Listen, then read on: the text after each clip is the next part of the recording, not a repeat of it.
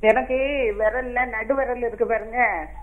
அதுல நகத்தை லேசா இது பண்ணேன்னா அந்த விரல் வலிச்சு பத்துடுங்க. அடுத்த நாள் என்ன செய்யுது வீங்க ஆரம்பிச்சிச்சு டாக்டர்கிட்ட போனேன் டாக்டர்? சொல்லுங்கம்மா கேக்குது சொல்லுங்க. டாக்டர்கிட்ட போனேன் நீரோபின் ஊசி போட்டாங்க. சரி. அந்த ஊசி போட்டதும் அந்த வீக்கம் அதோட நின்னு. இந்த நான் ரெண்டு மணி நாள் கழிச்சு போனேன்னா அடுத்த விரலுக்கு வந்துச்சு. அதுக்கு அடுத்த விரல்ல ஆரம்பிச்சு அதனால தான் டாக்டர்கிட்ட ஓடினேன். ஏன்னா பாக்குறதுக்கு ஒண்ணுமே வீக்கம்ல நம்ம சொன்னதுக்கெல்லாம் ஒண்ணுமே தெரியாது. விரல் எப்பவும் போல தான் அழகா இருக்குது. சரி. எனக்கு தான் வலி. அப்புறம் அவரு இந்த முடக்குவாதத்து கூட சேர்ந்ததுமா மொழி மொழியா தடிக்கும் அப்படின்ட்டு தான் நீரோபின் ஊசி போட்டாரு. அப்புறம் கொஞ்சம் பரவாயில்ல. ரெண்டாவது அவர்கிட்டே போய் என்ன எனக்கு அந்த ஊசி போடுங்க. அப்படின்னு சொன்ன மூணு ஊசி போட்டேன். அது என்ன மாதிரி போட்டோன்னா அவங்க என்ன செய்தாங்க முடக்குவாதத்துக்குள்ள டாக்டர்கிட்ட போக சொன்னாங்க. அங்க போனாக்கி ஆ, டாக்டர் அங்க போனாக்கி அங்க வந்து அவங்க ட்ரீட்மெண்ட் தந்தாங்க. ரத்தத்தை செக் பண்ணிட்டு வர சொன்னாங்க. செக் பண்ணிட்டு பண்ணதுல இதுல முடக்குவாதத்துக்குள்ள என்னதோ ஒரு மிஸ்டேக் இருக்குதுன்னு சொல்லி மாத்திரை தந்தாங்க டாக்டர். எனக்கு அதுல எந்த இம்ப்ரூவ்மெண்டே இல்ல. இப்ப எந்த லெவல்ல இருந்தோ அதே லெவல்ல இருக்குது. பகலெல்லாம் ரொம்ப தெரியல. நைட்டு தான் நான் அந்த மூணு விரலையும் புடிச்சுட்டு தான் தூங்குவேன். அந்த மாதிரி எனக்கு ஒரு பாரம். அதே போல டாக்டர் ரெண்டு முட்டு இருக்கு இல்லையா கால் முட்டு? ஆமா. அதுல நம்ம காய தொங்க போடுவோம் பாருங்க உள்புறம். உள்புறம் ஒரு வலி. நடக்க முடியல வச்சுடுங்க ஆனா அமுக்குனாக்கே வலிக்காது. பிடிச்சாலும் ஒரு வீக்கமும் ஒண்ணும் கிடையாது. சரிம்மா உங்களோட ஏஜ் என்னம்மா? ஏஜ் வந்து அறுபத்தி மூணு வயசு ஆகுது டாக்டர் எனக்கு சுகர் இருக்கு பிரஷர் இருக்கு சரி. தைராய்டும் இருக்கு. சரி. மாத்திரை ஒழுங்கா சாப்பிட்டுட்டு இருக்கேன். சரிம்மா ஓகே சுகர் கம்மியா தான் இருக்கு வச்சுடுங்க சரி ஏன்னா இப்போ? முட்டுலயும் வீக்கம் வலியோ எதுவும் கிடையாது. ஆனா உள்ள ஒரு வலி. அது. அந்த காலில போடுவோம் இல்லையா? அது ரொம்ப ஒரு அந்த ரொம்ப வேலை செய்தா கொஞ்சம் ஒரே போட்டுட்டு நடப்பேன். சரிம்மா மோஷன் ப்ராப்ளம் இருக்கா? வச்சுட்டாக்கி இப்பெல்லாம் வலிச்சிரும் ம். ம். சரிம்மா மோஷன் எப்படி இருக்கு? ஃப்ரீயா போறீங்களா? மோசன் பரவாயில்ல டாக்டர் கால்ல கொஞ்சம் எக்ஸசைஸ் செய்வேன் அதனால கால்ல போயிட்டு தான் செய்யுது. அது இப்போ அந்த நகத்துக்கிட்ட வந்து சீல் வச்ச மாதிரி இருக்கா? ஒண்ணும் கிடையாது டாக்டர் நான் இப்போ ஒரு டாக்டர்கிட்ட போய் காட்டினா கூட இது என்னது? நான் சுகர் டாக்டர்கிட்ட போய் காட்டி தான் ஒரு மாசத்துல எனக்கு கை அடிபட்டது. ஒண்ணுமே தெரியாது அவங்க பாக்குறதுக்கு. சரிம்மா. ஸோ இப்போ நம்ம நெயில்ஸ் கட் பண்ணும்போது ரொம்ப டீப்பாக கட் பண்ணிட்டோம். நம்ம ஸ்கின் லெவலோட கொஞ்சம் கீழ்ப்பக்கமாக ரொம்ப ஸ்கின்னோட சேர்த்து நம்ம கட் பண்ணிட்டோம் அப்படின்னா பொதுவாகவே அந்த இடத்துல ஒரு வலிகள் ஒரு வீக்கம் வந்து வர ஆரம்பிக்கும். நெயில்ஸ் கட் பண்ணும்போது கொஞ்சம் கேர்ஃபுல்லாக கட் பண்ணுங்கள் குறிப்பாக சர்க்கரை நோயாளி இருக்கிறவங்க எந்த ஒரு சின்ன கீறல் கூட வராமல் நம்ம உடலை வந்து பாதுகாக்கணும். இப்போ இந்த நகத்தை நீங்கள் ஏற்படக்கூடிய பிரச்சனைனால நீங்கள் மருத்துவமனைக்கு போனதுனால உங்களுக்கு முடக்கவாதம் அப்படின்னு சொல்லப்பட்டிருக்கு. ஃபஸ்ட்டு வந்து பேசிக்காக நமக்கு வாதம் சம்மந்தப்பட்ட பிரச்சனைகளுக்கு நம்ம உடம்புல இருக்கக்கூடிய எல்லா ஜாயிண்ட்ஸுமே நமக்கு வலிக்க ஆரம்பிக்கும். ஸோ அப்போ ஃபஸ்ட்டு நம்ம பார்த்துக்கிட்டோன்னா மோஷன் வந்து ஃப்ரீயாக போகுதா அப்படிங்கிறத நம்ம கவனிக்கணும். அதாவது மோஷன் போகிறோம் டெய்லியே மோஷன் போகிறோம் பட் ஆனால் ப்ராப்பராக நமக்கு மலம் வெளியேறுதா அப்படிங்கிறது ஒரு பெரிய கேள்விக்குறி தான் நமக்கு உடலில் வந்து மலம் தங்கி இருந்துச்சு அப்படின்னா கண்டிப்பாக வியாதிகளும் நம்ம உடலில் தங்கி இருக்கும் ஒரு நாளைக்கு இரண்டு முறை மலம் கழிக்கிறது. மலச்சிக்கல் பிரச்சனை இல்லாமல் இரண்டு முறை நம்ம மலம் கழிக்கிறது நல்ல விஷயமா இருக்கும். நம்ம உடல்ல வாதம் பித்தம் கபம் இது மூணும் சரி நிலைமையில இருந்துச்சு அப்படின்னா எந்த ஒரு நோய்களும் நமக்கு ஏற்படாது. அப்போ டெய்லி வந்து உங்களுக்கு மோஷன் ஃப்ரீயா போகுதா? ஓரளவுக்கு போகுது இல்லை நான் மோஷன் போறேன் அது ஃப்ரீயா இல்லை அப்படின்ற மாதிரி நிறைய பேர் வந்து இருக்கும். அப்படி இல்லை. ஃப்ரீயான ஒரு மோஷன் நமக்கே ஒரு ஃபீல் ஆகும். நம்ம வந்து மோஷன் வந்து நம்மளை ஃப்ரீயாக போயிட்டோம். நம்ம பாடி வந்து ஒரு ஃப்ரீயாக ரிலாக்ஸாக இருக்கிற மாதிரி ஒரு ஃபீலிங் வரும். ஸோ அது மாதிரி இருக்கா அப்படிங்கிறத கவனம் செலுத்தணும். ஏன் நம்ம வந்து இந்த மோஷன் போகிறதுக்கு இவ்வளோ ஸ்ட்ரெஸ் பண்ணி சொல்கிறோன்னா எல்லா விதமான நோய்களுக்கும் இந்த மலச்சிக்கல் ஒரு முக்கிய காரணமாக அமையுது. ஸோ நம்ம உடம்புல வாதம் அதிகமாக இருக்கும் பொழுது நீங்கள் சொல்கிற மாதிரி எல்லா உடம்புலையும் நமக்கு இந்த ஜாயின்ஸ்லயும் வந்து நமக்கு வலிகள் வந்து இருக்க ஆரம்பிக்கும். மோஷன் ப்ராப்பராக போயிடுச்சுனாலே நமக்கு வலிகள் வந்து குறைய ஆரம்பிக்கும். ஸோ அதனால மலச்சிக்கல் பிரச்சனை இல்லாமல் நீங்கள் பார்த்துக்கிறது நல்ல விஷயம். ஒருவேளை உங்களுக்கு முடக்குவாதமா இருந்தது அப்படின்னு சொன்னால் நம்மளோட மருத்துவமனையில் ஒரு மூன்று மாத காலம் ட்ரீட்மெண்ட் எடுத்தால் போதுமானது. இப்போதைக்கு நீங்கள் வாதம் சம்பந்தப்பட்ட உணவுப் பொருட்களை அவாய்ட் பண்ணுறது நல்லது. உடல் ஆல்ரெடி வந்து வாதம் தங்கி இருக்கு. அப்போ உ- நம்ம எடுக்கக்கூடிய உணவுலையும் வாதம் சம்பந்தப்பட்ட உணவுகள் எடுத்தோம் அப்படின்னா இன்னும் நமக்கு இந்த வாதம் உடலில் வந்து அதிகமாகும் வலிகளும் அதிகமாகும். அப்போ வாதம் நம்ம எடுத்துக்கிட்டோம் அப்படின்னா பூமிக்கு அடியில் விளையக்கூடிய கிழங்கு வகைகள் நம்ம வெங்காயம் கூட நம்ம எடுத்தோம் அப்படின்னா நமக்கு மூட்டுகளில் வலிகள். நிறைய பேர் வந்து சமையலுக்கு நிறைய வெங்காயம் யூஸ் பண்ணுவாங்க. ஸோ அதனாலையும் நமக்கு வலிகள் ஏற்படும். இது வந்து நம்ம முக்கியமாக தெரிஞ்சுக்க வேண்டிய ஒரு விஷயம். ஸோ பூமிக்கு அடியில் விளையக்கூடிய கிழங்கு வகைகளை நீங்கள் கண்டிப்பாக அவாய்ட் பண்ணும் புளிப்பு சுவை அவாய்ட் பண்ணும் குளிர்ச்சியான விஷயங்களும் கம்மி பண்ணணும். ஏன்னா உடம்புல வந்து குளிர்ச்சிகள் அதிகமாக இருந்துச்சு ஈரம் அதிகமாக இருந்ததுனாலும் நமக்கு இந்த மூட்டுகளில் வந்து வலிகள் ஏற்படும். இது எல்லாமே நீங்கள் லைஃப் ஸ்டைலில் ஃபாலோ பண்ணணும். அதுக்கடுத்து உங்களோட சர்க்கரையுடைய அளவு எப்படி இருக்குன்னு பார்த்துக்கணும். சர்க்கரையுடைய அளவு அதிகமாக இருந்துச்சு அப்படின்னாலும் நமக்கு உடலில் வலிகள் ஏற்படும். அதுவும் நார்மலாக இருக்கான்னு பார்த்துக்கோங்க. இப்போதைக்கு உங்களுக்கு கிடைச்சிது அப்படின்னா முடக்கற்றான் கீரை வந்து நீங்கள் எடுத்துக்கலாம். ஸோ உடலில் இருக்கக்கூடிய வாதம் வந்து நல்லாவே குறைய ஆரம்பிக்கும். அதே மாதிரி உடலில் வந்து ஒவ்வொரு ஜாயிண்ட்லேயும் உங்களுக்கு எந்தெந்த ஜாயிண்ட்ஸ்லாம் எல்லாம் வலி இருக்கோ வீட்டில் வந்து தேங்காய் எண்ணெய் இருக்கும். ஸோ தேங்காய் எண்ணெய் வந்து லைட்டாக ஹீட் பண்ணிக்கோங்க. பூங்கற்புறம் இருந்ததுன்னா அதில் போட்டு ஒவ்வொரு ஜாயிண்ட்லேயும் நல்லா அப்ளை பண்ணிவிட்டு ஒரு இருபது நிமிஷம் கழித்து சுடுதண்ணை வச்சு நல்லா ஒத்தரம் கொடுங்க. நீங்கள் ஆல்ரெடி எக்ஸசைஸ் பண்ணிகிட்டு இருக்கோன்னு சொல்கிறீங்க அதுவே நீங்கள் ஃபாலோ பண்ணிக்கலாம். இந்த வாழ்வியல் மாற்றத்தை நீங்கள் ஃபாலோ பண்ணிக்கிட்டே வாங்க. அதுக்கடுத்து நம்மளோட மருத்துவமனையிலும் முடக்குவாதம்க்கு நம்ம நிரந்தர தீர்வு கொடுத்துட்டு இருக்கோம் அது கூட வர்ம சிகிச்சை நம்ம மேற்கொண்டுட்டு இருக்கோம் நீங்க மருத்துவமனைக்கு நேர்ல வந்து பார்க்கலாம். ஓகே தேங்க்யூமா கால் பண்ணதுக்கு. நெக்ஸ்ட் காலர் இணைப்பில் இருக்காங்க. ஹலோ ஹலோ குட் மார்னிங் நீங்க லைன்ல தான் இருக்கீங்க. பேசலாம் with doctor on call hello வணக்கம். வணக்கம். சொல்லுங்க சார் உங்க பேர் என்ன? என் பேர் எங்க இருந்து கால் பண்றீங்க இளஞ்சலியன் எங்க சேலத்துல இருந்து பண்றேங்க. ஓகே சார் உங்களோட கேள்வி என்ன சார் எங்க மனைவிக்குங்க ஓகே இதய வாழ்வு லேசான அடைத்திருக்குங்க ஓகே சார் இருபது வருஷமா மாத்திரை சாப்பிட்டுட்டு இருக்காங்க. சரி சார் தைராய்டுக்கு பத்து வருஷமா மாத்திரை சாப்பிட்டுட்டு இருக்காங்க.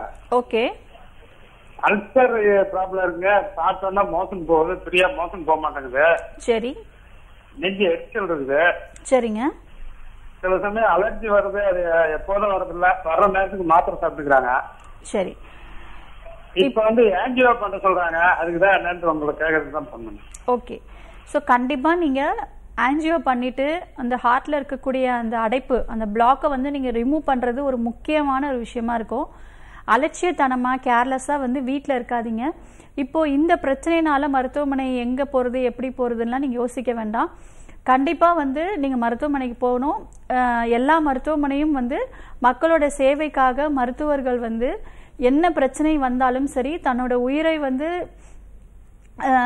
கூட பொருட்படுத்தாமல் இப்போ இந்த கொரோனா வைரஸ்னால மருத்துவர்களுக்கும் வந்து அந்த இன்ஃபெக்ஷன் வந்து ஏற்படும். பட் அதை தெரிந்தும் வந்து உயிரை வந்து பொருட்படுத்தாமல் மக்கள் சேவைக்காக மருத்துவமனையில் வந்து நர்ஸ்லேருந்து மருத்துவர்கள்லேருந்து எல்லாருமே பணிபுரிஞ்சிட்டு தான் இருக்காங்க.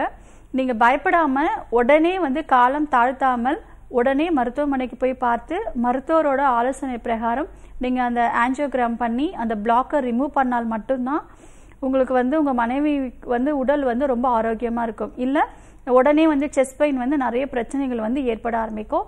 அதுக்கு அடுத்தபட்சமாக இந்த அல்சர் பிரச்சனை மற்ற பிரச்சனைகளுக்கெல்லாம் நம்ம அதுக்கு அடுத்தபட்சமாக நம்ம பார்த்துக்கலாம்.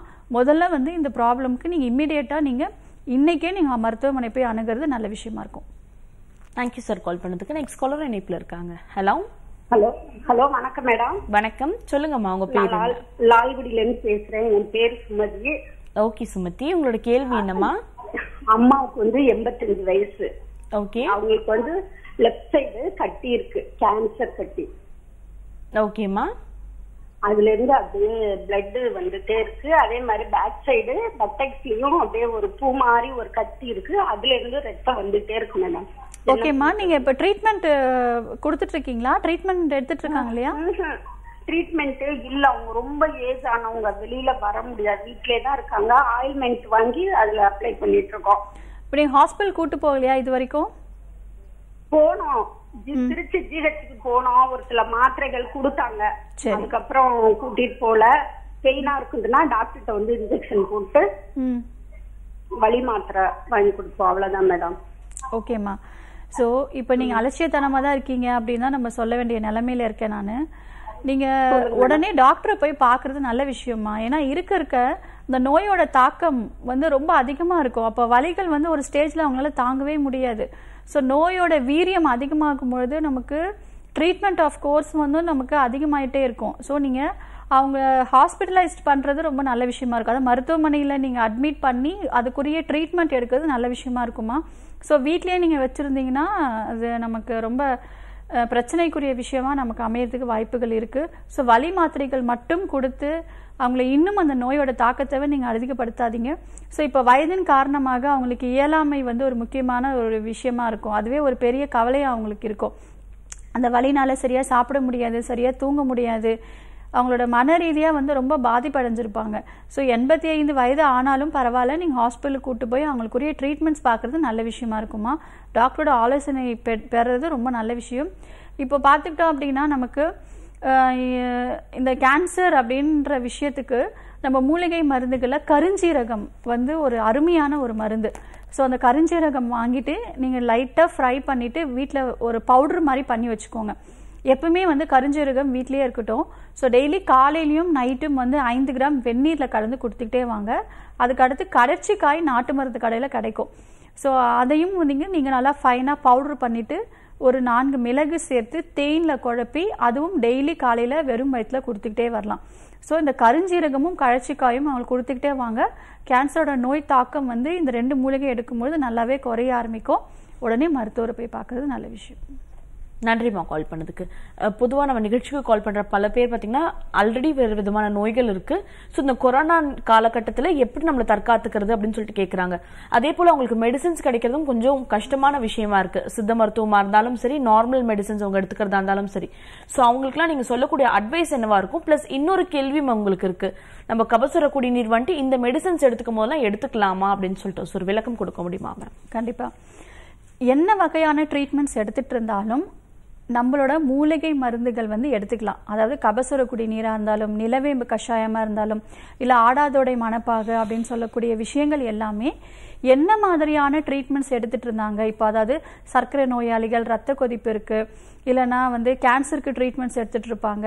இல்லை மூட்டு வலிக்கு ட்ரீட்மெண்ட் எடுத்துகிட்டு இருப்பாங்க. இல்லை தலைவலிக்கு எந்த விதமான பிரச்சனைகளுக்கு அவங்க மருந்துகள் எடுத்துகிட்டு இருந்தாலும் அரை மணி நேரம் இடைவேளைக்கு அப்புறமா நம்மளோட கபசுர குடிநீர் எடுத்துக்கலாம்.